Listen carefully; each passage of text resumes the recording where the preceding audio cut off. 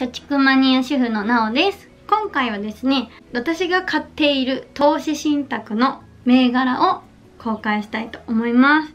はい。えーとですね最近投資信託の,、えー、あの銘柄を増やしました、えー、今までは5万円を楽天証券で投資していたんですね。積立 NISA 枠と特定口座枠で同じ楽天全米株式インデックスファンドっていうファンドに5万円分、えー、積み立てで投資していたんですね。でも最近、えー、4万円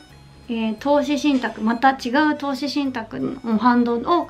えー、積み立てを追加いたしました。はい。でどこで追加したかっていうと今回は SBI 証券で、えー、解説しました。はい。なんで SBI 証券で、えー、解説したかって言いますと、SBI 証券では T ポイントのマイレージサービスがあります。そうなんです。えー、楽天ポイントでは、えー、と500ポイントまでそうなので5万円の分のポイントまでは楽天カードの支払いができるので貯められるんですけどそれ以上はポイントの楽天カード決済ができないのでポイントがたまらないんですね。で、まあ、楽天ポイントがたまるっていう仕組みなんですけれども SBI 証券では T ポイントのたまる制度があります。で、投信マイレージっていう、まあ、そのポイント獲得条件がありまして、で、投資マイレージっていうのが投資信託保有残高のことになります。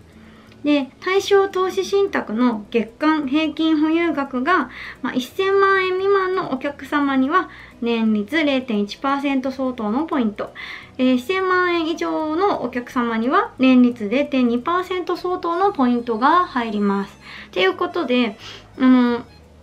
T ポイントもその貯められるっていうメリットがあるので5万円以上投資しようっていうことで今回 SBI 証券を選びました。なので楽天ポイントと T ポイントをうまくあのポイントを活用して得たいなっていう考えになります。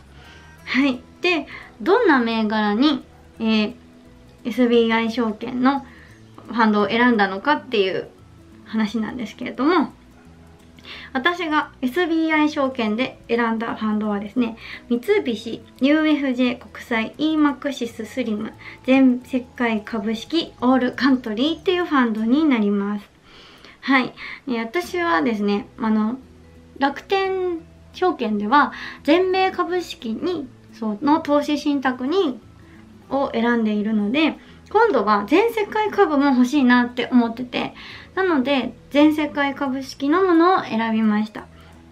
ね、やっぱ EMAX スリムはかなりね、あの、今、ちょっと注目されているファンドで、そう、あの、結構ね、ランキング、あの、買い付けランキングでも上位の方に入ってるファンドなんですね。で、まあ、あの、結構、その、そこまでなんかいろんな人が、まあ、いいっておすすめしているっていうのもありますし、まあその私的にその全世界株式全世界株式に投資したいという思いでこちらのファンドを選びました。そう。だからずっと全米株式とまあ全世界株式ってそこまで大差はないっていう意見もあるんですけどもまあ全米株式でまあちょっとねあの何かあった時に、まあ、アメリカの株だけじゃなくていろんな世界の株を、まあ、混じってたものをまあと安全牌として持っててもいいのかなっていうふうに思ってはい。一応そちらのファンドを購入してみました。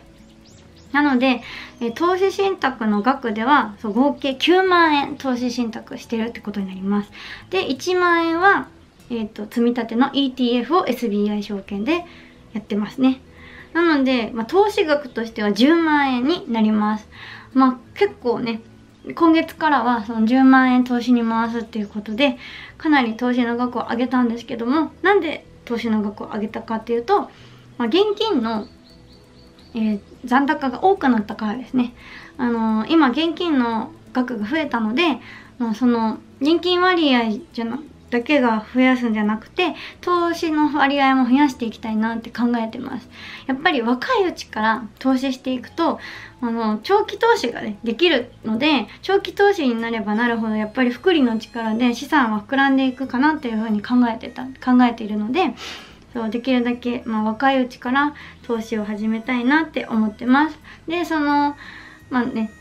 何十年か先の、まあ、老後資金に充てたりだとかまあ子供のができたら子供の教育資金とか結婚資金なんかに充てられるようなお金を今のうちからそうあのコツコツ積み積んでいけたらなっていうふうに考えております。ねまああの今はね10万円なんですけどもちろん生活がねあの子供がねできたりしてまあ、環境が変わったらその投資額は減らしたりとかそういうふうに考えてるんですけども今はもうこのぐらいやってもいいかなってことでそう子供も今いないですしそう今の現金の割合を減らしたいという意味でそう投資の額を増やしてみました。